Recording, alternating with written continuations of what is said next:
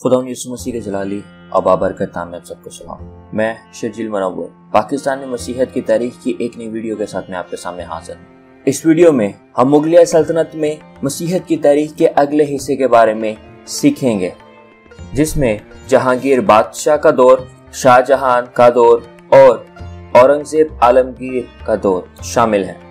इसलिए मुकम्मल तौर पर सीखने के लिए इस वीडियो को आखिर तक ज़रूर देखें। ये सारी video Miss Frida M Carey की तहकीक पर मबनी है।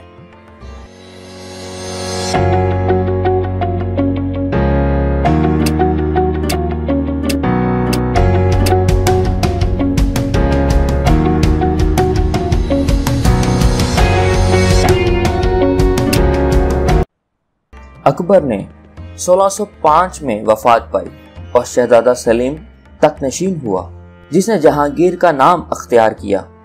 जहांगीर ने बाप की। हम रकाबी में रहकर मजहबी फराख दिली और रवादारी सीख ली थी। लेकिन वो मुसलमान उम्र की हमायत हासिल करने की खातिर अपनी हुकूमती हमत अमली में मुसलमानों को तरजीह देता था। वो मसीही अकायद और मसाइल से अच्छी तरह वाकफियत रखता था और फादर जराम जेवियर का इसकी ज़िंदगी में बड़ा असर रहा। बादशाह इसकी बातों से बड़ा खुश होता था और उस पर गौरखोज करता था। एक वक्त ऐसा भी आया कि जहांगीर ने गले में सलीब भी डाल ली थी। आगरा और लाहौर के गिरजे के अखराज जहांगीर की रोशन ख्याली की बदौलत मुहैया किए गए। और फिर उल्मा के साथ बहस मुबासा दोबारा शुरू हो गया। जहांगीर ने अपने तीन भतीजों, अपने भाई दानियल के बेटों को मसीह होने की हदायत दी और 1610 में उन्हें सरेआम बपतिस्मा दे दिया। याद रहे कि गोवा में अकबर के सफीर मुकरब खान को भी बपतिस्मा दिया गया, मगर खुफिया तौर पर। पादरी बरकतुल्ला अपनी तसनीफ में फरमाते हैं कि 1614 ईस्वी में लाहौर में तकरीबन एक हज़ार के लगभग मसीही लोग आबाद थे। इनमें आर्मीनी, सुरियानी, कुल्दी, नस्तूरी, पुर्तगीज, अतालवी और अंग्रेज़ नस्ल के लोग भी शामिल थे। मकामी लोगों की बजाय में ज़्यादातर परदेसी लोग पाए जाते थे। जो बागर्स, तजारत, फौज और फिर सरकारी कामों के लिए हिंदुस्तान आते थे। फादर पेनहेरो, लाहौर की क्लीसा में खिदमत का काम सर अंजाम देने में काफ़ी मेहनत से काम लेते रहे। लेकिन शहनशाह के दरबार में हाजिर होने की वजह से लाहौर और आगरा में क्लीसिया की पासबानी निगबानी के लिए मिशनरियों के पास बहुत कम वक्त होता था। फादर जेरोम अपना सारा वक्त दरबार में वक्फ करता था। फादर एमैनुअल पेनहेरो और फादर फ्रांसिस्को लाहौर की क्लीसिया की पासबानी खिदमत करते थे। इसी दौर में फादर पेनहेरो की खिदमत नमूना और खलूस से मुतासर होकर उमरा से चंद एक हल्का बगोश मसीही हो गए। एक अमीर घराने का शख्स अपने नौजायदा बच्चे को लेकर गिरजा घर में आया और कुर्बान गाह के करीब लाकर दरख्वास्त की कि इसे बपतिस्मा दिया जाए।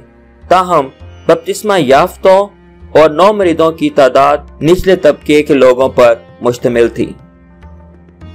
जहांगीर बादशाह के दौर में ही 1613 ईस्वी में मसीहत का काम सिंध में शुरू हुआ, जिसके नतीजे में 1618 ईस्वी में ठट्टा के मकाम पर एक चर्च बनाया गया और फिर इसके बाद लहरी बंदरगाह में भी एक चर्च बनाया गया। और ठट्टा के मकाम पर स्कूल भी तामीर किया गया।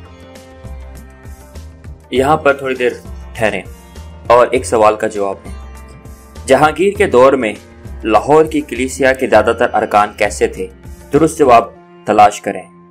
अलफ, मकामी लोग। बे, परदेसी। जीम, आला तबके के लोग। दाल, निचले तबके के लोग। अगर आपका जवाब बे और दाल है तो बिल्कुल दुरुस्त है। यानी कि उस वक्त में परदेसी और निचले तबके के लोग ज़्यादातर लाहौर की कलीसिया के अरकान थे। शाहजहां अपने बाप जहांगीर का जानशीन बना और उसने 1628 से लेकर सोलह तक हिंदुस्तान पर बड़े शान शौकत से हुकूमत की। यह बादशाह अगरचे मुख्तब मजाहब के बाबत वाकफियत रखता था। मगर रसुल एतकाद मुसलमान था। इस अहद में मुनादों की इज़्ज़त को कम कर दिया गया, क्योंकि बादशाह ना सिर्फ़ इनको नापसंद करता था, बल्कि हकारत की नज़र से देखता था। इसका असर लाहौर, दिल्ली और आगरा के क्रीसा के लिए जवाल का बायस बन गया। तबलीग जारी रही, मगर हिंदुओं के अलावा कोई मुसलमान मसीहत को कबूल ना कर सका। 1632 ईस्वी में शाहजहां ने बंगाल के गवर्नर को हुक्म दिया कि हुगली के मकाम पर पुर्तगीजों की आबादी पर कब्जा करके उसे तबाह करे। वहाँ के चार हज़ार मसीही कैदियों में से चार ओगस्तीनी राहब भी थे। फिर शाहजहां ने फरमान जारी किया कि हालिया तामीर किए गए हिंदू मंदिरों और तमाम मसीह इबादत गाहों को बंद करके तबाह किया जाए। उसने ये भी फरमान जारी किया कि कि मुसलमानों का मसीहत कबूल करना अब मना है। लाहौर ठटा और लहरी बंदर के गिरजाघर ढा दिए गए। लाहौर में छोटी सी मसीही बरादरी बाकी रही और फादर जोसेफ दी कैस्ट्रो ने 1646 में अपनी वफात तक इनकी और आगरा के मसीहों की निगबानी की। 1642 ईस्वी में शाहजहां ने सिंध में मिशन का काम दोबारा शुरू करने की इजाज़त दे दी। लेकिन फादर साहिबान सिर्फ़ वहाँ के पुर्तगीज लोगों की खिदमत करते रहे। अब यहाँ पर ठहरिए और एक सवाल का जवाब दें। शाहजहां के अहद में मुगल सल्तनत के मसीहों को क्या क्या मसाइल सामना करना पड़ा? औरंगज़ेब आलमगीर का दौर, जो सोलह से लेकर 1707 ईस्वी तक का दौर था।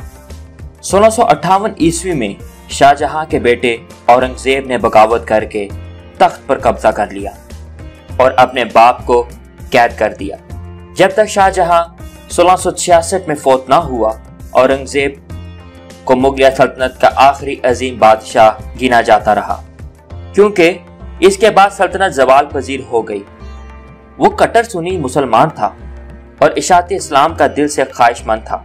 औरंगज़ेब ने अपने दौर में कानून नाफज किया कि कोई मुसलमान किसी दूसरे मज़हब को अख्तियार ना करे। मुरादों को ये इजाज़त ना थी कि वो मसीहत की इशात करें और मुसलमानों के साथ मेल जोल रखें। इस अहद में गैर मुसलमानों को जजिया देना पड़ता था। सिर्फ़ एक खातून बेगम जुलियाना, जो गोवा के मसीही खानदान से ताल्लुक रखती थी और शाही दरबार में मुलाजमा थी, इसकी कोशिश से मुरादों से जजिए की वसूली माफ़ हो गई। बादशाह ने तमाम गैर मुसलमान मजहबी नमाशों पर पाबंदी लगा दी और तमाम स्कूलों को बंद कर दिया, जिनमें गैर मुसलमान मजाहब की तालीम दी जाती थी।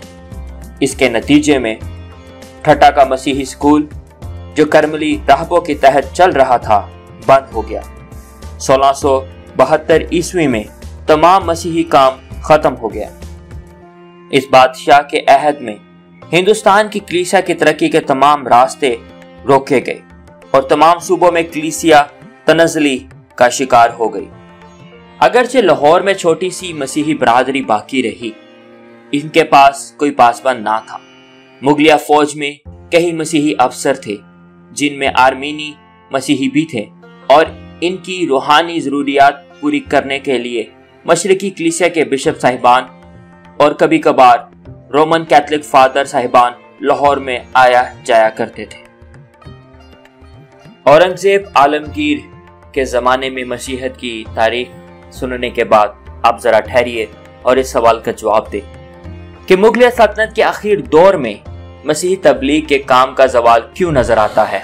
इस वीडियो में हमने मुगल सल्तनत में मसीहत की तारीख के आखिरी हिस्से के बारे में सीखा है, जिसमें जहांगीर बादशाह, शाहजहां और औरंगज़ेब आलमगीर के दौर में मसीहत की तारीख हमने सीखी। अगर आपको ये मालूम अच्छी लगे तो इस वीडियो को ज़रूर लाइक करें और इस वीडियो को तमाम बरे सगीर के मसीहों तक पहुँचा दें, ताकि हम हिंदुस्तान और पाकिस्तान में अपनी शनाख्त को जान सकें, देखते रहें, सीखते रहें और अमल करके दूसरों को सिखाते रहें। शुक्रिया।